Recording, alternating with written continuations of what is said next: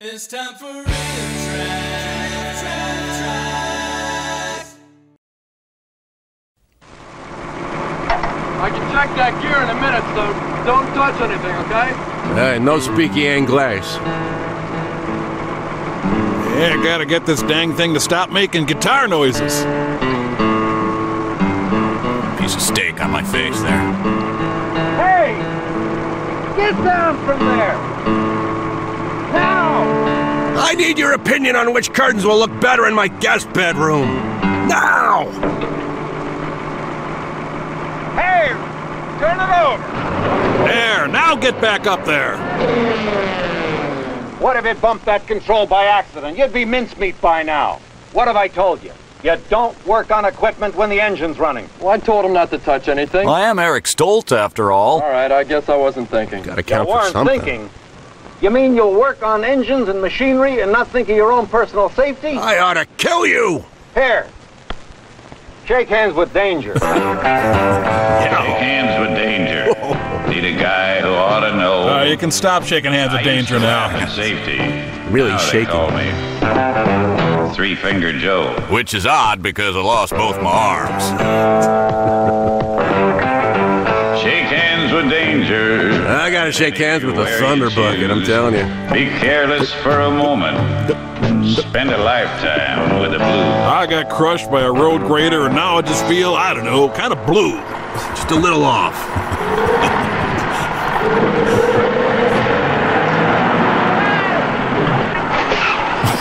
hell did you do that Moving for? machines are designed for safety, Hello? but they're big enough to hide a man. Or several David Spades is. Ted, you could have killed me. This mechanic is lucky he's able to complain.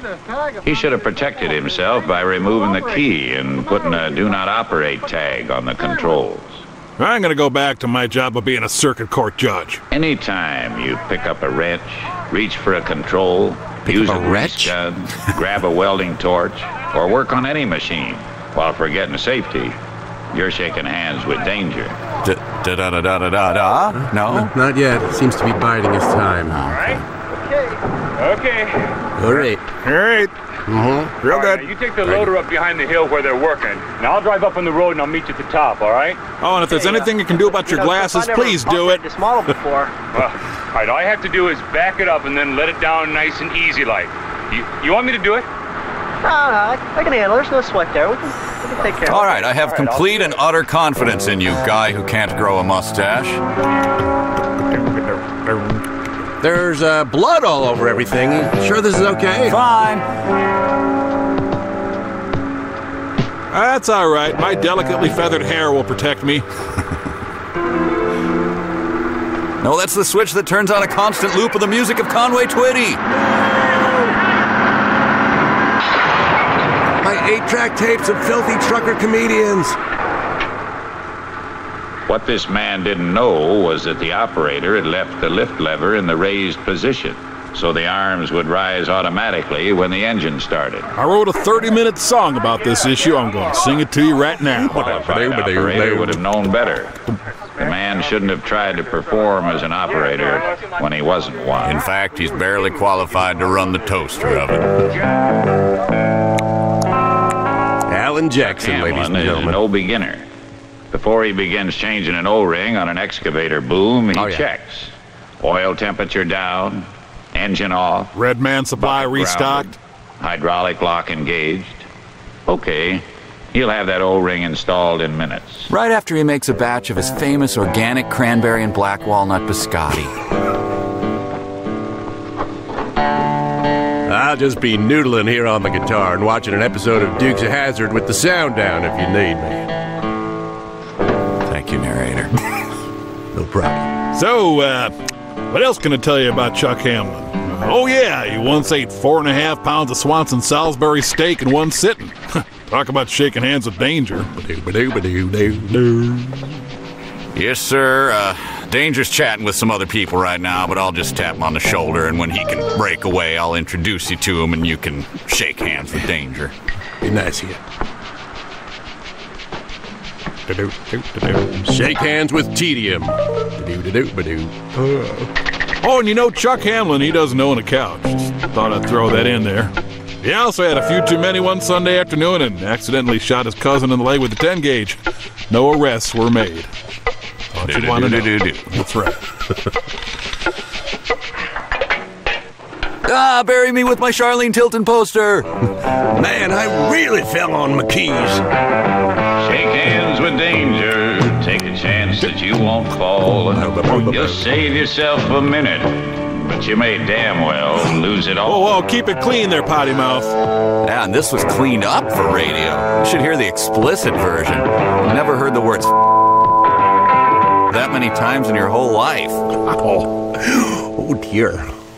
Wherever possible, the stick should be extended and the boom lowered so the work can be done at ground level. Jeez, the ground is still warm from the Chuck's next man body. Use the Show a service little truck as a safe work platform. Well, here's the company grief counselor. Firemen with tools can create a hazard.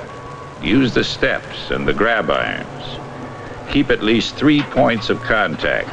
Two feet and one hand unencumbered. And with every fiber of your being, try, try not to look like Al Franken. Try. Any shortcuts, and you're inviting injury. In fact, taking shortcuts is often a quick road to trouble. Uh, a, a highway to the danger zone, Consider what happened if to you Harry will. Sanders. Harry has come to work with a problem.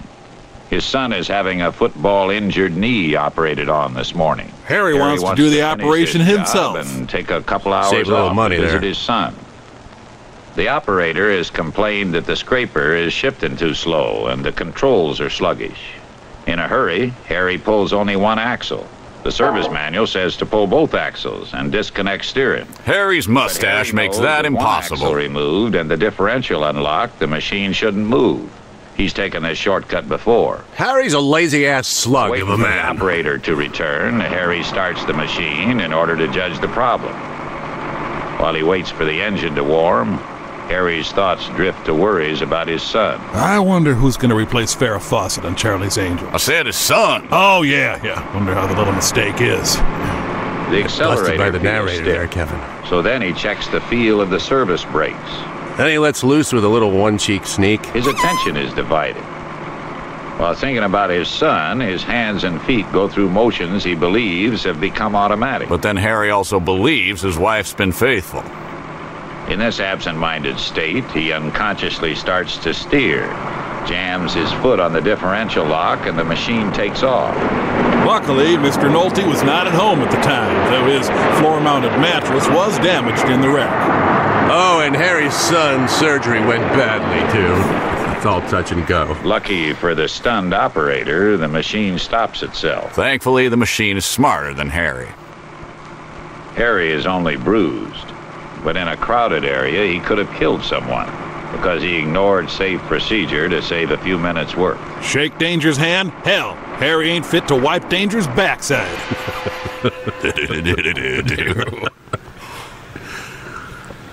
Don't worry, folks. We sent out an agent to burn down Harry's house. Now, most people have days when they come to work with worries, hangovers, or distractions. Those are times for being doubly cautious. oh dear! Body of Insane the grizzled job, clown. but pick on. Elsewhere, it's danger time. Glenn Greenwood was victim of another kind of mental hazard ego. He conquered the world and made us all his subjects. Did you get that pin, driver? No, but I got this drift. Just give it a whack. The enormous, Glenn knows the unstoppable of ego of that man. against badly chipped metal. Outraged. But he's wearing safety glasses, and uh, there's a macho thing involved here. He has to make up for asking Gary out on a date. His friend to sneer at him for being overly cautious. So, Glenn shakes hands with danger. Glenn's manhood had already suffered a blow by wearing that kicky neckerchief. We had our cracked sniper shoot Glenn to prove a point about safety. Maybe his friend would have laughed if Glenn had insisted upon playing it safe. But he sure as hell isn't laughing now. His friend is, though. With tools, the time to make sure you have a safe ending is before you start using them.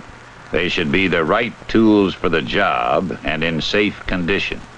If Glenn's friend had ground off that mushroomed face, Hey, it's care of the adolescent acne scars, you he jerk. could have prevented that accident. No, I couldn't. Hey, Iron Man! Some old timers think accidents happen only to greenhorns. Hey, Red. Or to Boston lead singer Brad Delp. Let them learn the hard way, they say. Now, let them learn the hard way can be an attitude that results in serious injury. They won't just be shaking hands, they'll be giving Danger a scented oil rub down. Sorry, sorry about that. One word of caution from the old timer would have saved a lot of pain and lost work time. Danger's niece is cute, though. And even the old timer can lapse into carelessness. No one is safe, ever! Everyone run! Correct when he starts, but he doesn't think about how much he's grinding down the wheel. Ah, he's too busy thinking up ways to burn the flesh off of greenhorns. He gets by with it on that longer piece. Ladies and gentlemen, Billy Danger and the Red Dirt Danger Band. Grinding wheels and metal are what made oh. Three Finger Joe. Hey everyone, the cruel old bastard finally got his comeuppance. I hope he dies! It isn't lack of familiarity with a job that causes most accidents. Often it's the routineness of the work that makes a person overconfident. Or Caterpillar just hires bone stupid workers. A job he's done at least a hundred times. Yep, love you too, If Bill. he were new at it, Bill would be watching and thinking about every step. Now it's so routine that caution has been dulled. Shake hands with the. Oh, mm. sorry, got ahead of myself there. Easy does it. The hole is dry. The pin won't slide in. There's no stick or swab in the grease can, but he could surely find one if he took the time to search around. But he's just too gay. This is the moment.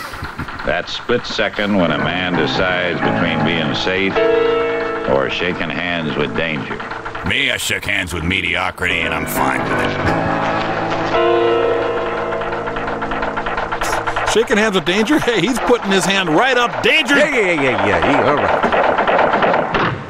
I'll never be able to punch Andy Dick. Just use your other hand. Oh, oh, right. Well, hey, problem solved. If he couldn't find a stick or a swab, Bill could have had the linking members moved apart and greased them separately. It would have been a nuisance, but Bill Myers would give anything to be able to go back and do it the right way. There's Bill again. Bill, you idiot. Shake hands with danger. Kelsey Grammer, no! Shake hands with danger. The Shake Hands with Danger Party Mix. Shake hands with danger. Exchange terse emails with perilousness. Shake hands with danger. Leave a voicemail at the office number of Hazard. Shake hands with danger. And friends I used Could to someone know. please cart off Chuck Hamlin's body? After all, he was your best O-ring replacer. He just compost now. Joe. The relentless guilt of chopping off Bill's hand was too much for the front loader and had committed suicide by self-immolation. The Bee, however, went on to lead a full and successful life and was able to sting Nicolas Cage in the face 38 times before retiring to Boca Raton. Not the bees.